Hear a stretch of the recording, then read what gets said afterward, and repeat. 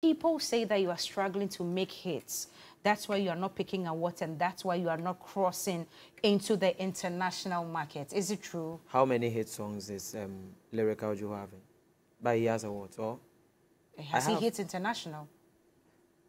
Or even for him, he has, because he is rapping in English. Okay. Sometimes I see UK people react right, to his songs. Right. And music is not all about hits. Mm. Ghanaians need to understand this. Music is not all about, you know, hit songs. Some are not having hit songs, they are having money.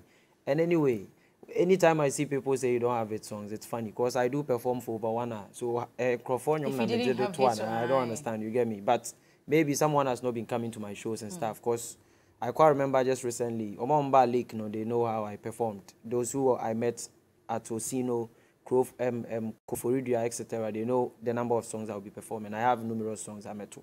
And see, I'm not even forcing myself to, you know, make a hit. If I make a cool. Mm.